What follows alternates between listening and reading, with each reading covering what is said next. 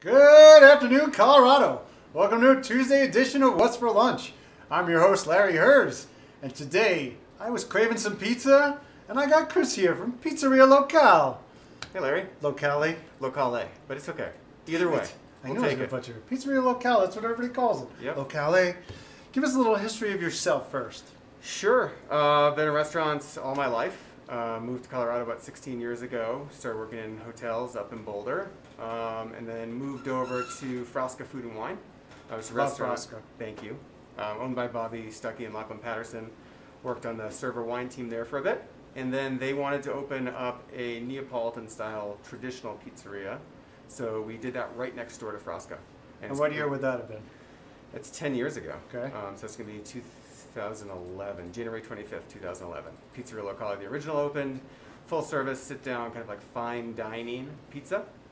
And after three years of that, we ventured into quick serve. So we took that original concept and started to make pizza that was really great ingredients, still super high quality, but done in a different format, so it was a lot more affordable for people. Where was the first one of those? Uh, Sixth and Broadway. Okay, and that's Yeah. still there, right? That's still there. Yeah, it's about seven years old or so. and then uh, since then you've added three more locations? Yep, three more. We have one at 32nd Lowell in the Highlands, uh, one over in the Central Park neighborhood, and then Ninth in Colorado is the fourth one. And that just opened in August. Yeah, Very nice. So four now. And and for people at home who don't know, what do you do there? What's uh, Sure. what's what is Pizzeria Locale? So we pride ourselves on doing the Neapolitan basics. We don't want to say perfectly, but as well as we can every day. Excellent. Uh, so that means four ingredient crust. So our crust is made with just flour, water, yeast, and salt. It's fermented overnight, which like fast food pizza that's out there, that's not very common. Sure. People just make dough using hot water and sugar. It proofs. It's, it's not it's not fully proof. For people at home, what is Neapolitan style pizza? Sure. So we, we have the kind of the four tenets of what we keep as Neapolitan, which is going to be that four ingredient crust, fermented overnight, stretched by hand, uncooked sauce, and a really hot oven. There are more than that. If you want to be like certified Neapolitan, And you're not certified. we don't do that. We kind of have these core tenets that we stick to. And kind of the fun of that is that lets us kind of make pizzas with other ingredients that people want. Okay. Like Neapolitan pizza, you're not seeing pineapple, the most d- divisive topping of all time.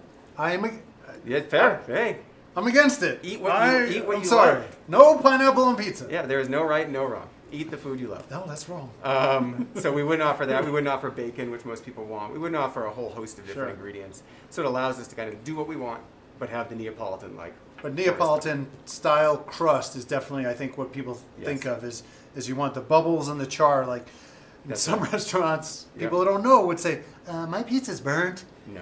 No, It's that's how it's supposed to be. And that's what we pride ourselves on, is those having those core basics of Neapolitan. Yeah. Um, and what's nice is, like you pointed out, those little kind of crisp bits there. The whole idea is that the sauce is uncooked in Neapolitan tradition. So sauce is sweet and tangy. And when you have a bite of that, that pizza, that little bit of char and that little bit of sweetness, it's like, it's just perfect. And that's, that's kind of what it's all about. What's funny is I've been eating this pizza forever, and uh, I've never heard it explained that way. Yeah. And it makes total sense. A little It sweet, a little bitter. Yeah, Nice, totally thing. works. What else do you guys do there besides pizza? Uh, we do salads as well. We just have a few side salads, um, which is going to be the Antica salad, very simple. We did bring uh, the pizzeria salad here, more kind of light lunchtime salad, multiple vegetables on there, and then pepperoni over the top. Uh, we have beer and wine on tap, uh, Okay. which is really great. We- local beers or? o- only local, uh, local and independent. So if you're owned by one of the big big companies, we're not going to carry you. It has to be local independent beer. Okay. Uh, the wine is our own. Uh, we source it from Italy. Um, just a simple kind of field blend white wine and a simple field blend red wine. Light, crisp, refreshing, great with pizza. So those are all on tap. Happy hour uh, every day of the week is from 4 to 6, buy one, get one free. Wow, Uh, I didn't we- know that. We do that all the time, yeah, every day. Seven days a week, buy one, get one free. Seven days a week, 4 to 6. That's a heck of a deal. Yeah. Local independent beer for $2.50. Right. Oh, So- I was, I was thinking it was buy one, get one free pizzas. Oh, no, no. Just the, just the booze. Just the pizza. Just the booze. God bless it. Yep. And your oven is also really special. It is. Um, proud of it. I, I don't know if I've seen another one like that. Is it? And that's true because it doesn't exist. Oh, well, look at that. I am observant. Yeah, For those who don't think I pay attention. Yeah, you nailed it. Very good. it- it is our oven. Um, so when we kind of went off in this quick serve direction, we quickly realized traditional Neapolitan pizza oven is amazing, but it's you know four pizzas at a time.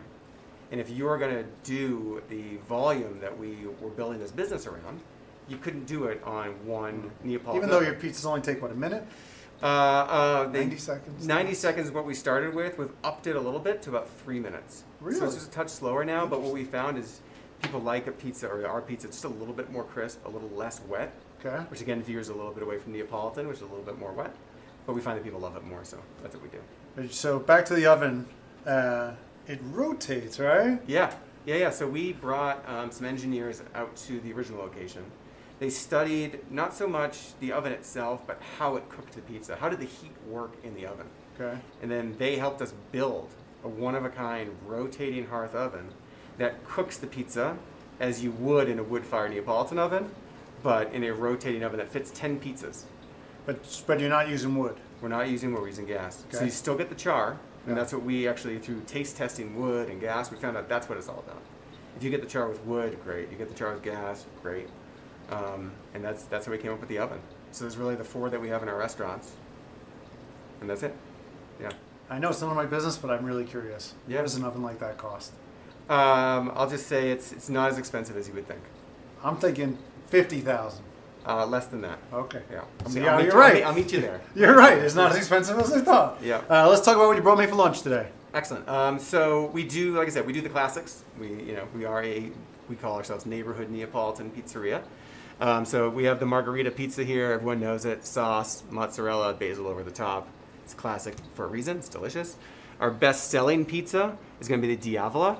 It's kind of like a spicy pepperoni. So smoked mozzarella, pepperoni again, um, basil, and that mozzarella cheese. And Diavolo means? Um, devil. Yeah. So it's spicy. Yeah, nice and spicy. So that, that's our best selling. This is a special pizza. Um, so a couple times a year, we partner with a local chef, and they work with Jordan Wallace, who's our chef, and together they come up with a chef collab pizza that we run for the month. So this pizza was made with Chef Jordan and then um, Caroline Glover from Annette Scratch to Table. So this is her design, and it's a white pizza, which is part of our menu. It means no sauce, and there's going to be mozzarella on there, uh, a little bit of Calabrian chili oil, and then fontina cheese, which is a richer kind of a little stinky cheese, delicious, and then pancetta, uh, oven roasted mushrooms, and arugula. Um, I love arugula on a pizza. A lot of people wouldn't think it works, but It's we have another pizza, the prosciutto and arugula pizza, and people people love that.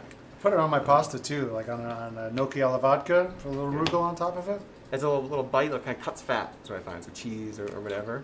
Yep. Um, and then one thing I do want to mention about that pizza: one dollar from every one of those pizzas is donated to Project Worthmore. I don't know if you've heard of them. I but- have not. Tell us what that is. So Project Worthmore is here in Denver, and they help refugees get settled um, when they come to the state. So whatever that means, that, that's finding work, if that's finding services they need, but it helps refugees settle and find a home here in Colorado. So one dollar for every pizza, um, chef pizza sold goes to them. All through You November. You know, there's that uh, restaurant downtown that uh, employs refugees. I don't know um, What is it? Do you remember the name? I was hoping you'd remember. uh, it'll come can in tell a me second. afterwards. Okay, it's Yeah. it's great. It's only Yeah. open like short hours, and it trains them how to make the how to you know cook, so that they could eventually open up their own places. And the food is you know like one day would be like Ethiopian, that's who's cooking. Oh, cool. The next day would be you know different uh, from a different country, Yeah. and it's very inexpensive, very lowbrow. Um, it's down in RiNo. Cool. The girl who promotes it is going to kill me for forgetting it. Well, I will. Uh, I will check it out. It sounds awesome. It'll come to me right Yeah. after. Uh, and then a little dessert you brought. So this is, um, I'd say, I guess the second most popular thing in the restaurant. People freak out for these. They're Budino butterscotch pudding. Uh huh. Um, they've been on our menu since day one. They used to be bigger. Now we make them in this kind of personal size. So we make the butterscotch pudding from scratch. We melt down chocolate, and then we hand whip whipped cream and put that over the top. And they're, I think, a buck eighty. Uh, people love them. That's like the perfect dessert for me. Yeah, they're great. A couple bites is all you need. All right, what else do we need to talk about? Let's talk about ordering. Because we, like most restaurants, we have leaned hard into online ordering Okay. and digital, um, things being the way they are right now. So you have two ways to order Pizzeria Locale. You can download the app, which is awesome. We have a rewards program that we just launched. So you get a free pizza, you get a free budino on your birthday, and there's ongoing rewards. Or you can order through our website as well, And what's the website? www.pizzerialocale.com. Yeah, so two ways to order. You can sign up for rewards either way. Do you do uh, any of the third-party apps? Uh, we do, but we just promote our own website. we don't want to talk about it because they rip us off. That's right. So, yeah, we, we do work with them, but go to our website, please. Saves them a lot of money. Get off your couch. Go get it yourself. Download the app. Stay on your couch. All right. Download the app, but then you can't get it delivered. Uh, you can. You can. Okay. It through just your app. cycles through our app. Yeah. All right, Which good. is better for us. So All right. we appreciate it. Chris, pleasure to meet you. Thanks Yeah. for coming in. Thank you. Uh, we'll see you tomorrow for another episode of What's for Lunch. Let's eat. So good.